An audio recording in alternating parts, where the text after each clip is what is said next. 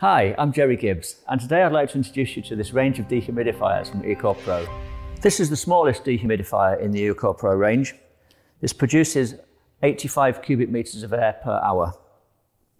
It's a desiccant dehumidifier, so it's producing a humid air outstream. It's not converting air and moisture in air into a liquid like a refrigerant would. And that's really handy because this little compact unit can then work at any angle. It could be fixed to a wall or a ceiling simply by driving screws through the feet, and it could be mounted at any angle that we wish. How the machine works, air is taken into the air inlet and is filtered to protect the machine.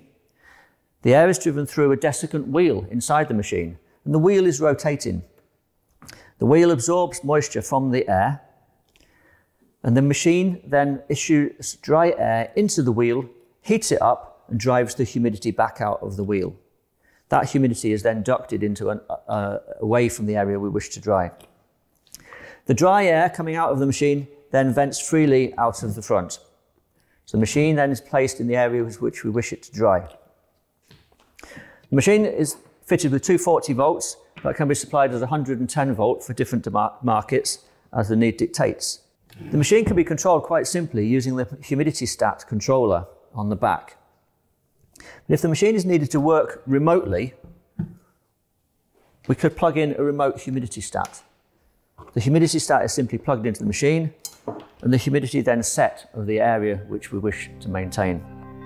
Thank you for taking the time to watch this video. For further information, please see one of the many tutorials we have available online.